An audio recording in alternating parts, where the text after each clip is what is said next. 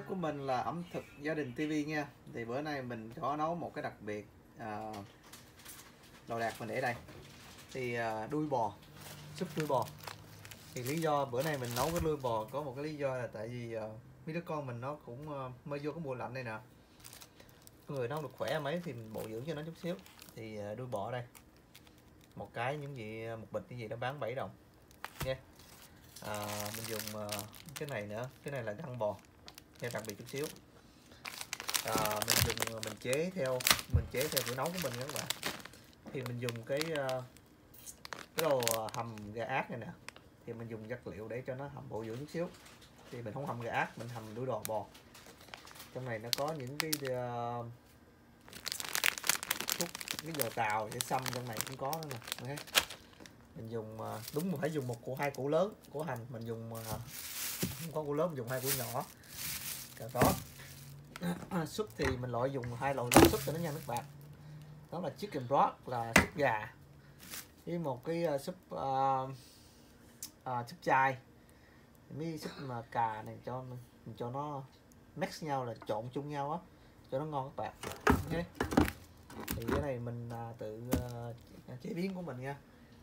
Rồi uh, dùng hành thì ờ, mình mua cái này các bạn làm súp xong rồi các bạn muốn dùng cái gì cũng được hủ tiếu hoặc bánh canh cũng được ok thì ờ, bắt đầu mình ờ, sẽ uh, rửa. Sạch sẽ đây mình làm nha. Thì mình tắt một cái kem vào chút xíu rồi mình đã quay lại cho các bạn coi nha.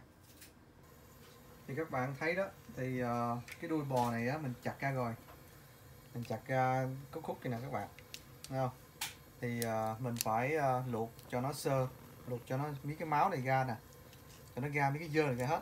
Thì mình đã rửa sơ rồi mình luộc trong này mình bỏ miếng chút muối nha các bạn. Đó thì cho nó mấy cái máu này ra nó dơ hết. Rồi sau đó mình đi bỏ vô cái cái nồi súp này của mình. Phải không? Cái nồi súp của mình đây nè thấy không? Đó hành đây nè. Hành mình cũng uh, mấy củ hành này mình phải nướng cho nó chút xíu.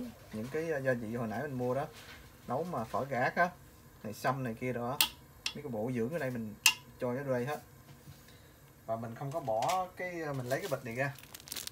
Cái bịch này nó hôi mùi thuốc bắc lắm mình không muốn hôi mùi thuốc bắc mình bỏ nhé. Mình không có xài cái cái đó. Đây các bạn. Thì uh, cái uh, cái găng này găng găng bò này rất là ngon. Thì mình phải luộc cho nó sơ cho nó sạch sẽ hết rửa ra sạch sẽ. Trước khi mình bỏ vào cái nồi súp của mình để đừng cho cái cái mùi súp mình bị tanh đó, thì giống như mình coi nè mình bỏ sạch sẽ hết rồi nè không? Đó, mình luộc mình luộc qua sơ cái sạch sẽ các bạn. Giờ mình bỏ vô cái nồi súp thấy không? Thì cái này nó bắt đầu à, găng bò này nó lâu lắm các bạn. Cái này cũng phải uh, hầm cũng phải uh, tiếng tiếng rưỡi. Nếu mà có cái lò hầm mà hầm nhanh lắm bây giờ mình bỏ gì mình hầm. Đây mình hầm cho nó thấm vô. Ok các bạn. Thì ở đây thì uh, bắt đầu mình uh, luộc cái này. Đuôi bò đuôi bò rất là bổ dưỡng. Các bạn biết không? Nè đó, mình về mình hầm mình hầm theo cái ờ, bầu dưỡng bổ. Mình chặt khúc khúc kia nè. Thì đây cái này là mình rửa mình mình luộc kia nè cho nó sơ cho nó dơ mấy cái máu này ra hết. Trước khi mình bỏ vô cái nồi súp của mình để rồi mình đi hầm chung với đuôi bò. Thì mấy cái này nó hầm lâu các bạn. Tiếng tiếng rưỡi. Lâu lắm. Cho nó mềm còn ai mà có cái nồi hầm mà hầm bằng điện á ồ mà hầm nhanh lắm hầm nửa tiếng là xong liền à. Mình không có cái đó ok?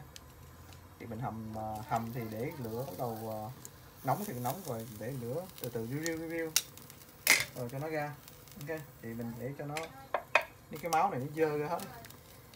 Các bạn thấy không? Giờ nó dơ vậy sợ không? Sau mình rửa sơ nó rồi nên bỏ vô nồi súp nha.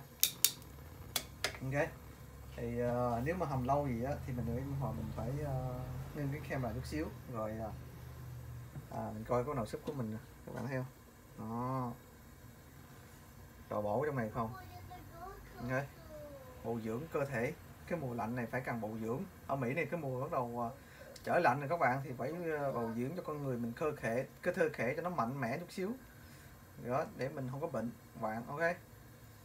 Để đầu uh, chờ một xíu nữa thì mình uh, quay nữa ok? Thì mình bạn cái xong súp mình bây giờ nó mới lại chín rồi các bạn. Còn một hâm một tiếng rưỡi đồng hồ. Thấy không? Thấy không? Thấy nào? Hầm tới nó nhừ luôn. Nó phải chín gì nè. Căng bò nè các bạn để sắc ra. Ok thì mình đây nè. Bạn thấy không? Mình đã cắt ra con bò rồi. Chụp nó lại. Ừ. phở. Giờ múc vô phở. Ok phở này mình luộc phở này phải tươi và mình luộc nó dơ trong bịch đó. Mình nấu cái non súp này à, giống như uh, mình chế lại như phở vậy đó. Thì mình bỏ gia vị gia vị khác hơn phở. Cái mùi giống như mùi phở. Các bạn. Cái, cái mùi này là thì giống mùi phở mà cái cái nước súp nó nó, nó rất là ngon. Thấy không? Rồi thịt lên.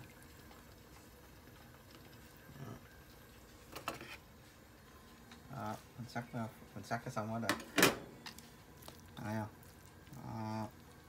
đây găng bò nè miệng ngon đấy sao mình thử một cái coi để ra ừ.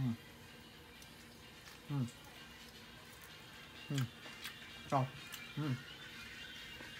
Ngon. Giò. Dừa. Các bạn nhớ ruột con bò hơi vừa vừa ăn thôi nha. Ok. Dùm múc cho các bạn, múc vô trong đó. Một tô phở. Bỏ nhiều lắm cà gót. Mấy cái này vô mấy cái cái đồ mà cái này à, tại vì mình hơi mau chút xíu các bạn mình phải nấu uh, phải chắc mấy cái cái xác này ra phải lấy cái nước đó thôi à. cái này quan quan trọng là lấy cái nước của nó nước bầu dưỡng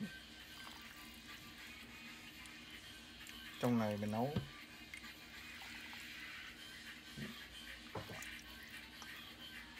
À, chắc chắc này nó rất là bổ dịch bồi dưỡng. Đấy. Rồi các bạn thấy không? Thì à, bắt đầu mình bỏ rau lên. Rau thơm lên. Đó, Đó rau thơm nè. Bỏ lên một xíu hầm ngồi mới lên. Uhm. Thấy không? Một tô phở đuôi bò. Rất là ngon, thơm mùi đuôi bò. Ok. Thì mà cái này mình nấu hơi lâu cỡ một tiếng rưỡi luôn các bạn. Quá trời lâu. Bữa nay mình ăn hơi trễ một chút. Thì ờ, đó. Ok mình chia sẻ vậy mời các bạn thưởng thức chung với mình nha. Thôi cái gì lần sau thưởng thức đi giờ mình hơi trễ rồi. Ok, bye bye các bạn nha.